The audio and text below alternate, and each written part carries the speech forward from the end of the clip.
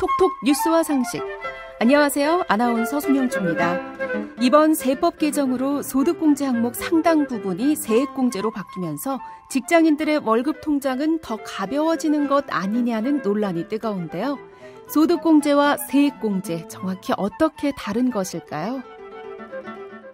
근로자들이 내는 세금은 소득에 따라 정해져 있는 세율에 의해 연봉 1,200만 원 이하 근로자는 최저 6%, 연봉이 3억 원을 초과하는 근로자는 최고 38%까지 세금을 차등 적용해서 냈습니다.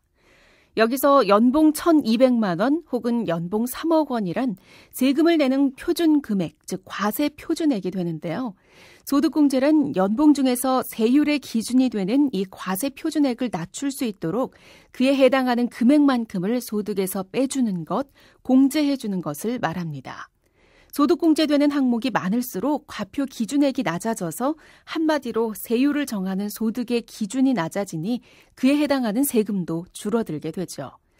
그러나 내년부터는 소득공제 항목 상당 부분이 세액공제로 전환되면서 자녀 수에 따라 소득공제가 되던 것도 세액공제로 바뀌게 되고 의료비나 교육비, 기부금, 보험료, 연금저축 소득공제 부분도 모두 일정 액수를 전체 세금에서 빼주는 세액공제로 전환됩니다.